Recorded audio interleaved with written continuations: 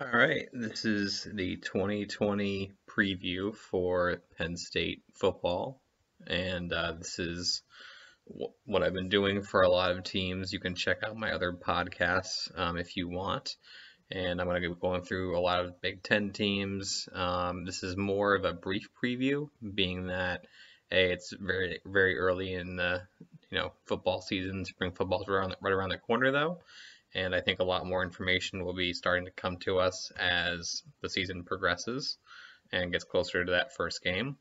Now, Penn State will be definitely a popular pick in the top 15, if not top 10.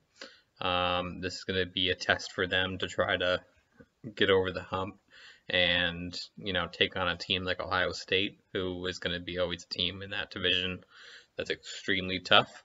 Obviously, Penn State fans know more than anyone how difficult their end of the conference is.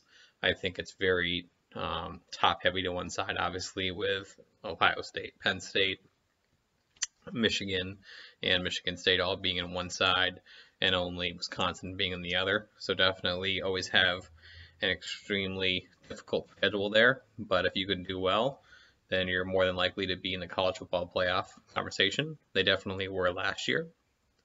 Now, uh, going into the first game of the year, they play Kent State, who did just come off um, their first bowl game victory. But this will be a very tough game, especially on the road for Kent State. So I definitely see uh, Penn State pulling off their win here. And uh, one other thing to touch on, I think, is a lot of the offense for Penn State is coming back. And their defense will lose some talent for sure. But I do think with so much of the offense coming back with the quarterback, running backs, and some other line, I really like their opportunity to be a pretty tremendous team this year. So, going back to the schedule, uh, Kent State to start, and I think that will be a win for them. The next game on the schedule, a little bit tougher, especially for an out of conference game, definitely their most difficult out of conference game, will be at Virginia Tech. This game is on the road. Virginia Tech was pretty good last year the ACC was tremendously down uh, overall as a whole. But I think they'll be, you know, a, a favorite in terms of you know one of those teams that could potentially play Clemson in the ACC championship again. So this will definitely be a test for them. But I do like their odds here. I'm not sure what the spread would be on this game, but one of the more competitive games, especially in, in the Attic Conference. Next, they play San Jose State at home. This is a game I think very tough for a San Jose State team to come in here, so I feel like they would win that one as well. Next, on September 26th, they play Northwestern. Northwestern usually is a very competitive and good team, and hopefully they can you know upgrade from their pretty disastrous season a year ago. But I definitely feel like this is another win, so I feel pretty confident that going into October 3rd, going to Michigan, that they will be 4 0. Now, this is going to be a big game for both programs. Uh, this is a game on both schedules that neither team can really afford to lose. Uh, obviously, with Ohio State, you know, coming up later in the year for both teams, um, if you want any chance to make it to that next step, you cannot lose this game. Now, the one thing I will say is this doesn't bode greatly for Penn State, being that this is in Michigan. And even though Michigan's going to have a you know somewhat new quarterback, even though they seem to play quite a few quarterbacks here and there, I do think that there is a little bit of a co- coaching advantage here for Penn State on, on the side until Jim Harbaugh can prove me wrong. But I, you know, this was a great game last year, um, you know, in Penn State. But this one's going to be at Michigan. I'm not ready to really make any kind of prediction on this game yet because there's just so much before this game that, that could happen to this point with injuries and whatnot, but definitely one of their harder non I mean in conference games. And uh, next week they play. Uh, they, next week they have a bye before they play Iowa at home. Now this is a game that they might overlook a little bit because they do have Ohio State coming into town the week after. So this is not a Iowa team that you want to overlook too much because they can, you know, Unfortunately, if you lose that game, uh, even if you beat Michigan, doesn't look great, and that will not look good. So hopefully Penn State and James Franklin will have his team ready, but this is a game, I would say if you look at the whole schedule, they could overlook that game knowing they have Ohio State next week and how big that game could be. So obviously that will lead me into the Ohio State game. Obviously Justin Fields will be coming back. This team is loaded, even though losing a ton of first round draft picks. Uh, most likely Ohio State will be the overwhelming favorite to win the Big Ten and to go to the college football playoff again, bearing injury. This team is loaded. This team is talented. Uh, Justin Fields will have one more year under his belt. This game was extremely competitive last year at Ohio State, especially I think it was around like the third quarter. They came roaring back and Penn State almost won. So the fact that this game's at home, that's why the Michigan game is so important. Because if they can beat Michigan, this game will set them up greatly to make a run at the college football playoff. If you don't beat Ohio State, it's going to be very difficult for you to make the college football playoff. So this is a great opportunity for them, especially being at home. Next couple of games here, uh, I think are very winnable. Indiana.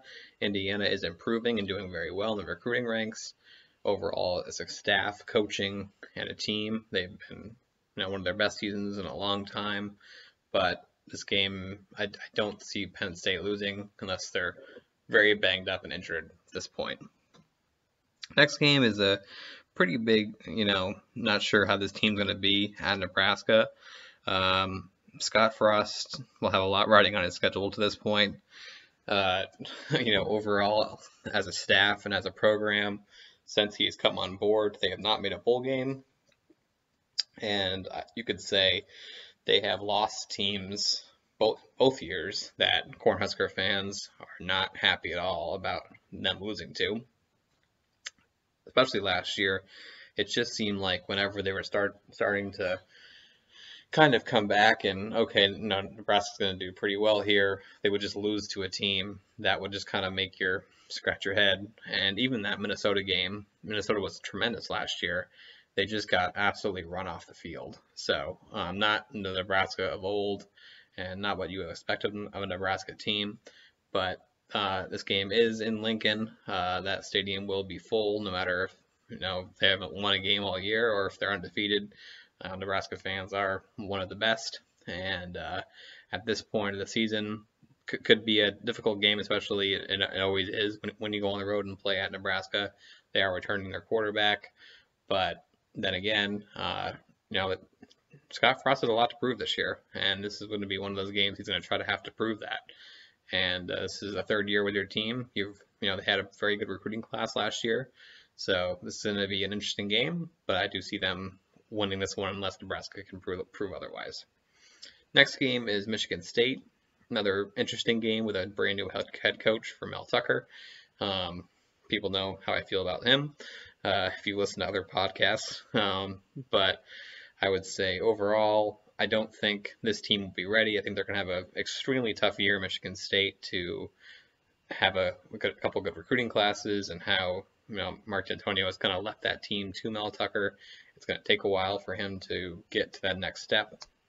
So, being this game at home, I feel very confident that Penn State will do very well in this game and win this one as well. Uh, Maryland did not have a very good season. Started out tremendous. I think they were ranked at one point, and they just fell off a cliff. So, uh, interesting to see how Maryland does. This game will be the, the senior day for Penn State and see them being a pretty heavy favorite here as well. Rutgers has a brand new head coach. Um, think he can do pretty well, but still very early in his tenure.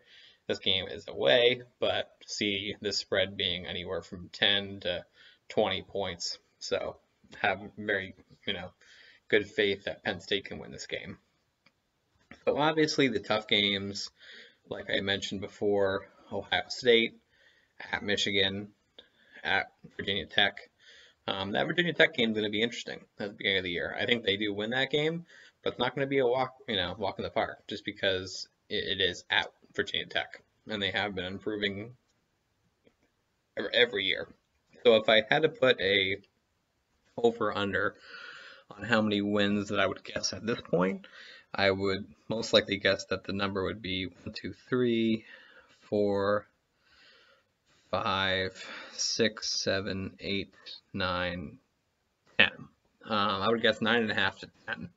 And it could be higher than that. It could be, um, but most likely I would say nine and a half to ten. And I would probably bet the over in that regard, just based on looking at the schedule.